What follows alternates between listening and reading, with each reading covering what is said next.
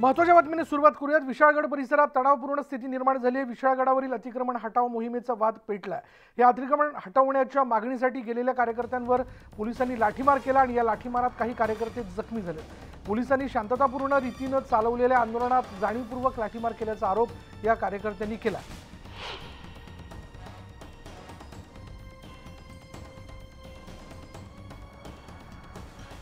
त्यामुळे आपण बघतोय तणावपूर्ण ही सगळी परिस्थिती.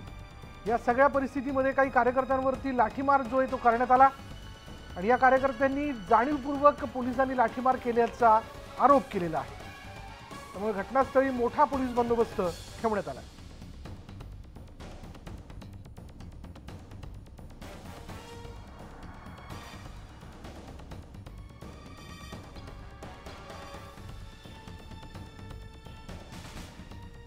एकीकडे पाऊस आणि धुक्याचं हे सगळं वातावरण आणि त्यामध्ये विशाळगडावरती आपण बघतोय.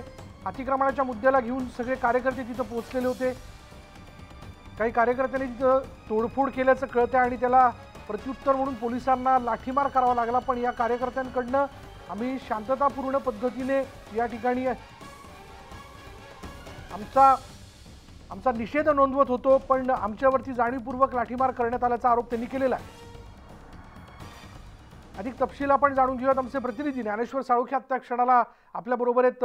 ज्ञानेश्वर आत्ताचं अपडेट काय? विशाळगडावरती जे जे तणावपूर्ण होतं ते आता कुठेतरी सुमारे सहा तासानंतर परिस्थिती आता मध्ये आलेली आहे. गेलं तर संभाजीराजे छत्रपती सुद्धा आज विशाळगडावरती गेले.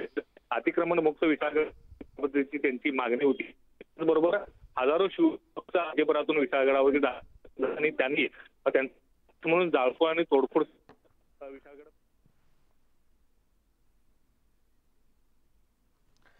आणि याच सगळ्या एकूण प्रकरणाबद्दल छत्रपती संभाजीराजे देखील या प्रकरणाला घेऊन विशाळगडावरती आहेत. त्यांच्याशी संवाद साधला आमचे प्रतिनिधी ज्ञानेश्वर साळुखे यांनी.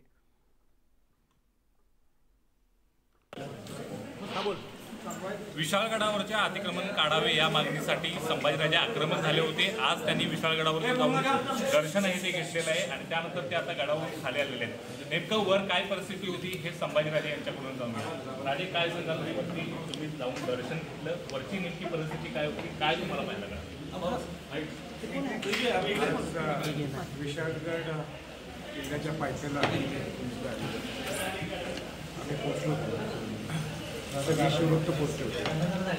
लोकांच्या शिवभक्तांचा फार मोठा आक्रोश होता. आणि आक्रोश असणं साहजिकच होतं. त्याला कारण आहे की हा विशाळगड किल्ला इतका विशाल आहे. आणि ह्या विशाळगड किल्ल्याने शिवाजी महाराजांना संरक्षण दिलं. रक्षण केलं. या विशाळगडाने स्वराज्यासाठी रक्षण केलं. असे चार पाच राजधानी आहेत. रायगड राजगड तामिळनाडू तामिळनाडूमध्ये जिंजी पन्हाळा सातारा आणि कोल्हापूर. तर या राजधान्यामध्ये कोल्हापूर म्हणजे पन्हाळा. या राजधान्यामध्ये राजधान्यामध्ये विशाळगडसुद्धा ही प्रामुख्याने राजधानी आणि ह्या विशाळगडवर ज्या पद्धतीने अतिक्रमण झालेलं आहे एवढ्या वर्षात इतक्या गलिच पद्धतीने सगळ्या पद्धतीनं अनेक गोष्टी तिथं चालतात. मग ते पट्ट्याचा खेळ असेल मध्ये अस असेल किंबहुना कतरखाना असेल. हे विशाखेचं हे शुभक नव्हतं आणि या शिवशागरच्या आम्ही आदराने आदराने बोलतो. आणि या विषयात अशा गोष्टी होतात. हे अत्यंत दुर्दैवी होतं. आणि म्हणून अनेक वर्ष संघटना वेगळ्या वेगळ्या संघटना अतिक्रमणमुक्त व्हावं म्हणून प्रयत्न करतात. मी मागच्या वर्षी दीड वर्षाच्या अगोदर हा लढा उभा केला होता. त्यात सगळे शुभक्त होते. आणि त्यावेळी क्लिअर कट झालं होतं की अतिक्रमण झालेलं आहे. आणि त्या दोन्ही साईडच्या लोकांनी अतिक्रमण झालेलं असं सांगितलं होतं. पण काही या दीड वर्षात काही केलं नाही. आणि म्हणून सरकारला आज निर्णय घ्यावा लागला. शिवभक्तांचा आक्रोश म्हणून त्यांना निर्णय घ्यावा लागला. की उद्यापासून विशाळगड अतिक्रमण मुक्त होणार आहे. आणि सरकारने उशीर केला असलं तरी मी त्याचं यांचा स्वागत करतो.